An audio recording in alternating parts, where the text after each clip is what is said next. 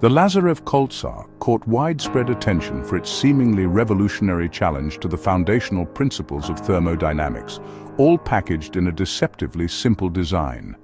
At first glance, the Koltsar appears to defy the second law of thermodynamics, which states that no system can continuously convert ambient energy into work without increasing entropy.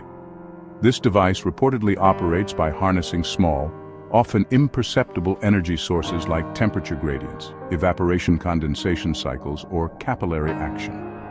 Its ability to utilize these subtle forces to maintain continuous motion has sparked intrigue as it blurs the line between conventional machines and energy harvesting systems.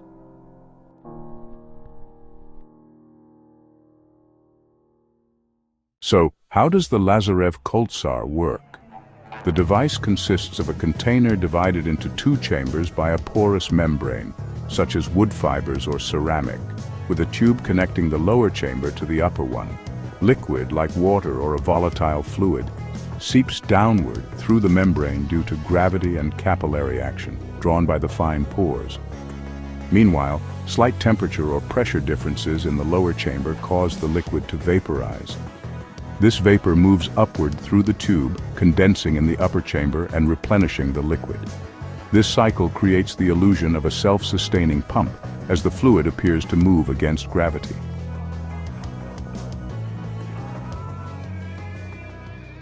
The key lies in the clever use of capillary forces and phase transitions to maintain fluid movement, highlighting a fascinating energy harvesting mechanism rather than a violation of physical laws. While impressive, the Lazarev Koltsar is not a true perpetual motion machine. It relies on external energy sources and cannot sustain operation indefinitely in a fully isolated system.